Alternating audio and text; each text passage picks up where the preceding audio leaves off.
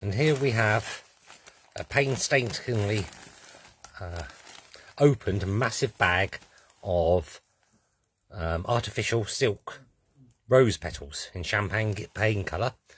Now, if you look at the photo, these are supplied as a die cut block, and it took me ages to separate them all. but they're good value for money.